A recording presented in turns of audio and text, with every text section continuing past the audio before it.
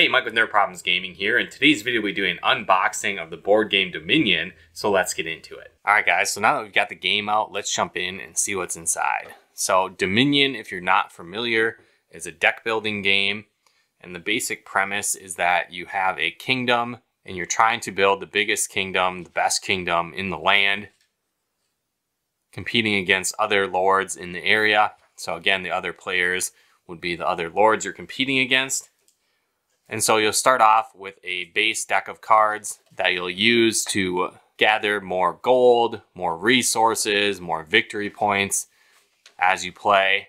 And so there's a bunch of different base cards that you can use in the system and also different variations of the different cards you can buy from the market. And so it can give you a completely different experience every single time you play, which is really cool. Again, there's a bunch of different routes to victory as well. You want to have the most victory points at the end, but there's a bunch of different ways to do that. And again, different methods to be the player with the most victory points at the end. This comes with a little trash mat where you trash cards when you remove them from your deck. And again, we've got a bunch of different base cards. So again, you'll be able to purchase cards from the market like an artisan here, which will let you gain a card in your hand that costs up to five gold so again, there's various different cards like this where you start with that base card. You'll be able to buy things like bandits to sabotage other players, which is nice. You can have a bureaucrat on your team. It's one of your cards. So again, each card kind of has their own unique special ability. Like a cellar, for example, will let you take an additional action on your turn. So usually you'll have a base set actions that you can do, cards that will give you the ability to trash cards. So, like I said, you start off with that base deck, and then you're able to eventually trash your worst cards in exchange for better cards as you buy them, making your deck more powerful. Because again, you can only draw so many cards a turn, play so many cards, take so many actions. But again, as you improve your deck, with cards like Festival here allows you to take additional actions gain gold, and give you another buy option. So again, a lot of cool combinations of cards that you can have, laboratories. And so again, you'll build out your kingdom as you play, making it more powerful to try and get more victory points at the end of the game.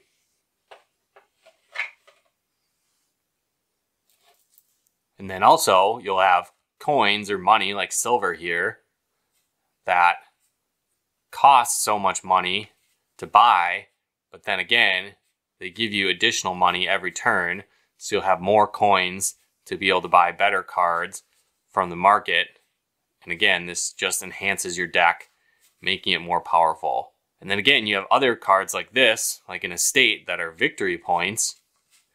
And so when they come up during your turn throughout the game, they're not really worth anything, so it's kind of like a wasted card. However, at the end of the game, they're worth victory points, which is how you win the game. So again, your strategy might evolve where you're buying cards later on, like this, that are worth victory points. But if you buy them too early in the game, it might end up kind of sabotaging your turn. Since there's not really anything you can do with them at that time. So you really have to be strategic with how you build your decks throughout the gameplay session.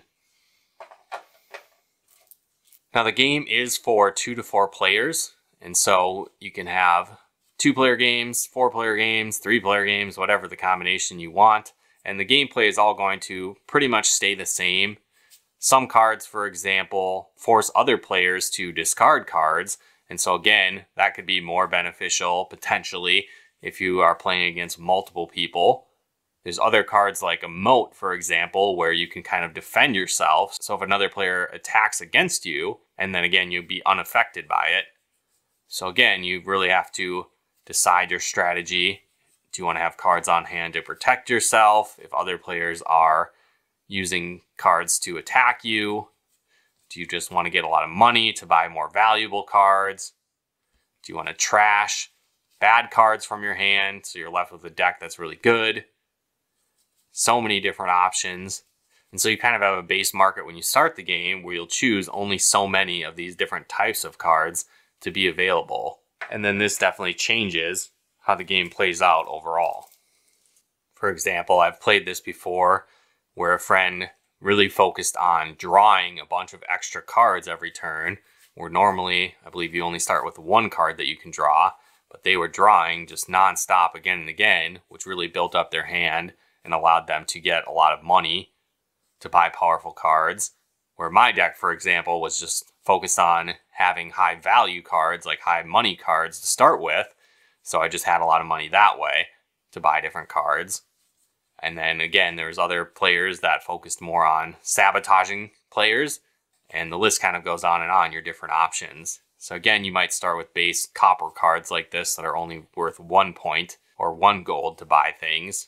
But steadily over time, you can buy silver and gold to power up further. So again, more coppers that you can get. Looks like a lot of those, those are kind of the base ones. Curse cards, which are nice. You can kind of, again, sabotage other players, giving them curses, making them lose victory points at the end. So that's always another option where you don't necessarily need to have the most, but you might be able to sabotage other players to bring them down. Gold, for example, it's worth three every time it comes up, but costs six to buy. So again, that could play into your strategy if you have money. You can buy higher levels and then trash the lower levels like silver and copper. So lots of options as you play the game.